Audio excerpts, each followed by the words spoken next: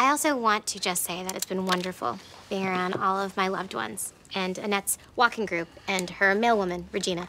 Mindy, you know, I tried to invite your side of the family, but Danny didn't know how to get in touch with them. Annette, don't pry. Maybe she's from a broken home. Guys, come on, give Mindy a break. Her parents are probably in India somewhere naming a goat after her son. Well, why don't we just see exactly what they're doing right now? What do you mean, what they're doing right now? As a surprise for Mindy and our parents, I talked to your brother Rishi and I got your parents' email address so they could join us in a video chat. What? What? Oh, no. You know what? They're very shy, so. Oh, God. Oh, no, no. Okay, oh, okay. I- Shut the laptop. I got something to say. Guys, Morgan's here, and he has something to say. Thank you. Go ahead. This shower is a lie. Their relationship is a lie. The father of that baby is one of these men behind me. Yeah, they're all here, baby. All these men. And one of them is the dad. What? You recognize any of these penises? Take them out. Morgan, what the hell's going on here? Who are all these men? And why are they all white? Because I heard this one tell Dr. Prentice that you're not the real father, and it's just some random guy that she dated. Oh, Morgan, what have you done? I used my extensive knowledge of your sexual history and the plot of Mamma Mia and several thousand dollars of my savings to wrangle the four of your ex-boyfriends that I find the sexiest to find out which one is the father. That's right. The gang's all here. The Manhattan Meat Train. I give you Josh, Jamie, Casey, Eric, Lee. Lee. Lee. And you're gonna take this rose and you're gonna put it in the hand of the man that knocked you up. I'm not gonna do that. I get reimbursed for the flower. Come on, man.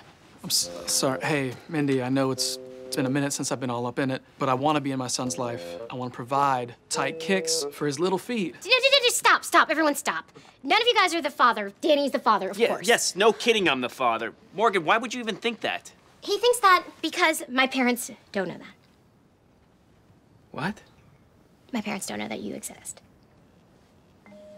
What are you talking about? Hey, uh, um, I'm so sorry. I'm confused. So I'm not the dad?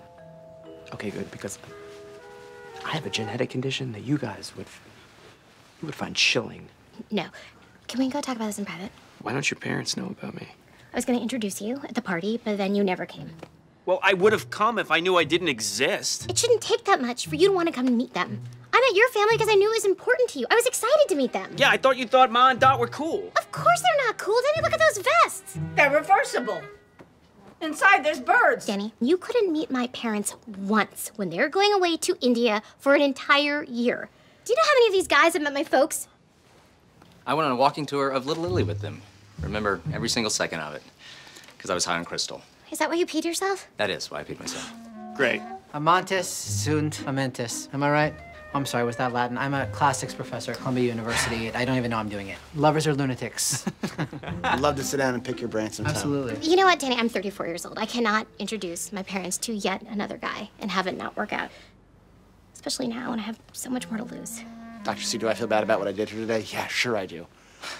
You should have gone meet your parents, dude. Danny, why didn't you just go? The procedure went late, okay? The party was in Boston. Ma, I had to shave, okay? You clearly didn't shave, Danny. Yeah, no. Okay, fine. You want to know why I didn't go? Here's why I didn't go. Because I was afraid that your parents were going to ask us why we weren't married. That's why I didn't go. So what's the big deal? You're gonna get married eventually. I don't know if we have to. I don't know if I want to. You don't? Whew. No, I don't know. I love you, but I don't know. Uh, I, I just don't know about marriage. Okay. Whoa, whoa, whoa. Let, us just No, talk about don't, this. Don't, no, no, I don't want to.